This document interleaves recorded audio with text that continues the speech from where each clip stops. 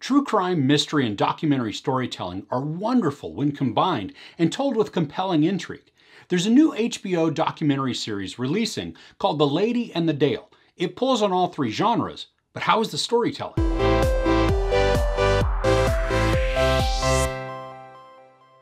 Award winning producers Mark and Jay Duplass bring the documentary series The Lady and the Dale to HBO. It's the wonderfully odd but true story of revolutionary automaker Elizabeth Carmichael. For this review, I'm only focusing on the first two episodes, which debut on January 31st. The way this is told visually involves a lot of interviews from family members, employees, and even reporters. There's an animation style that is employed also that feels a bit like it's out of South Park. I mean, we have pictures that are kind of puppeted, and so the stills are edited so that they bend and they move at the joints, giving it a, this little bit of a stop motion feel. And the animation, while different for a documentary, it really works with this narrative. And that's because this is not your normal story of a car maker. The Lady and the Dale details the rise and fall of 1970s transgender entrepreneur and her radical car, the Dale. I mean, episode one spends the time giving us the background on Carmichael. And it's pretty engaging and detailed, and it paints a pretty vivid picture. And this is a necessary step uh, for what's going to come because we have to know the personality and the psyche of Carmichael. We need to understand motivations because past behaviors are typically indicative of future behaviors. Episode 2 begins to really focus on the car and Carmichael's business.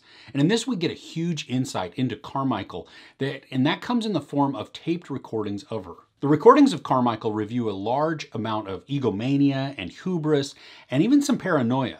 In fact, a lot of what was said reminded me of remarks by a former person of power who is now a Florida resident. The interviews we get from employees of Carmichael's car company really range from those that were skeptical about what's going on in the company to those that were genuinely hurt and they couldn't understand the negative publicity that was being conveyed. I mean, they had fully bought into this company. The concept for the car is pretty cool. It's a three-wheeled vehicle, but not like the Reliant Robin, you know, that falls over at the slightest breeze.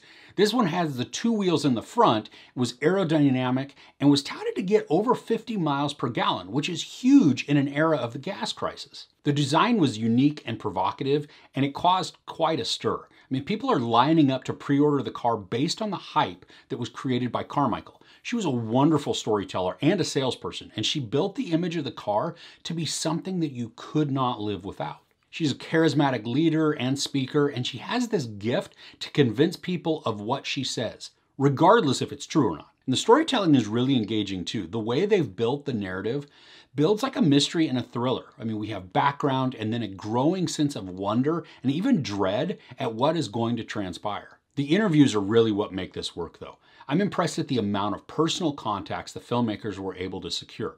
We don't have a friend of a friend telling details, but it's first person and first hand accounts providing a lot of credibility to what's being conveyed. So this is a four-part documentary series with the first two being released concurrently.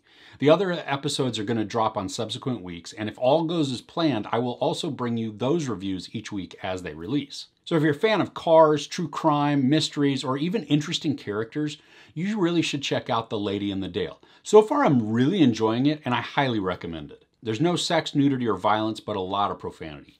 So are you familiar with this story? I'd not heard of the Dale or even Elizabeth Carmichael before this. I'm curious to know your insight in how the series works with what you knew, if you knew anything. Let me know in the comments below. If you enjoyed this review, please give it a like. Also, don't forget to share and subscribe.